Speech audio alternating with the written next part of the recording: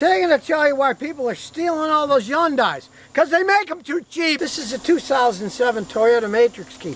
It has an immobilizer. So the car can't start unless the immobilizer chip is computed to the car. But the modern Hyundais have a plain key with no chip in it. So you do not have to have a computer chip to make the car go. They're real easy to steal using the stupid cords for your phone. So if you own a Hyundai it's been stolen, you might join one of those class action suits and sue them.